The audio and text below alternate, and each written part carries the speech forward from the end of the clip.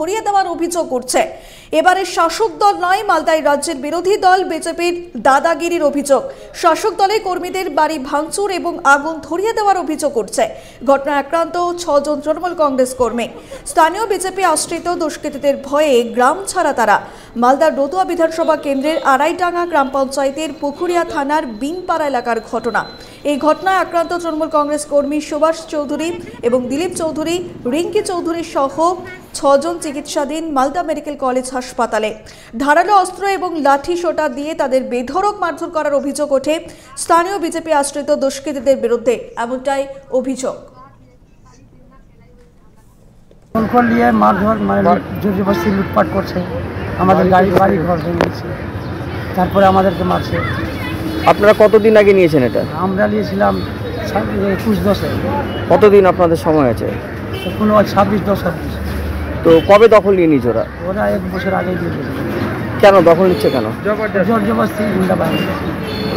কোন পার্টি করে ওরা কি কোনো? বিজেপি করে আমরা পুলিশ জানে বিষয়টা? সব জায়গা কতজনকে মারধর করেছে? সাত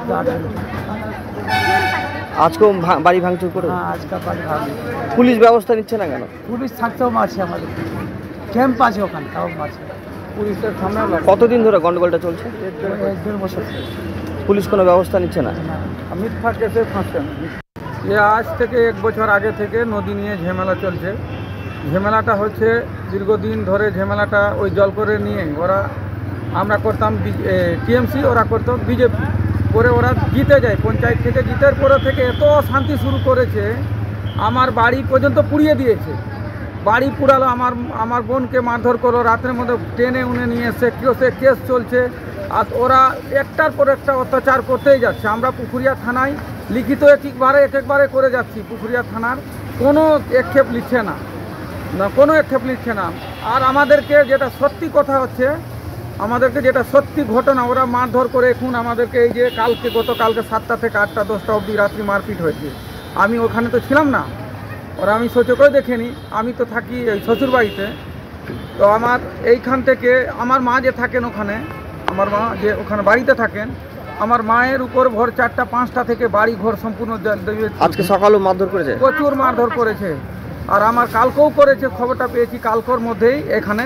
ছজনা ওইখান থেকে চারজনার ট্রান্সফার হয়ে এসছে। ওই অঞ্চলটিও তৃণমূলের দখলে পঞ্চায়েত সমিতি তৃণমূলের দখলে ওখানকার এমএলএও তৃণমূলের। স্বাভাবিকভাবেই বিজেপির লোক এই অবস্থায় তৃণমূলকে মারধর করবে, এটা কখনো বিশ্বাসযোগ্য নয়। এর পিছনে তো অন্য কোনো কারণ আছে। অথবা সেখানে বিজেপিকে আগামী দিনে খতম করার উদ্দেশ্যে এই রাজনীতি হতে পারে। কারণ তাদের এগেনস্টে এরকম অ্যালিগেশন দিয়ে তাদেরকে পুলিশ দিয়ে হয়রানি করে তাদেরকে দমিয়ে দেওয়ার একটা চেষ্টা হতে পারে। এরকম আমরা আশঙ্কা করছি।